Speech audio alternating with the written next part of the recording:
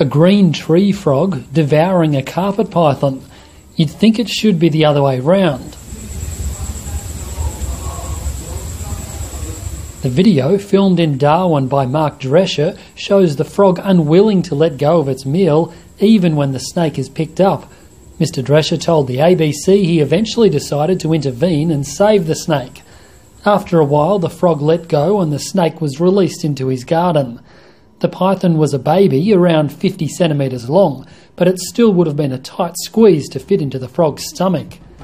You can never quite predict who will eat who in nature, like the snake which ate the crocodile near Mount Isa in 2014, or the Burmese python eating an alligator in Florida.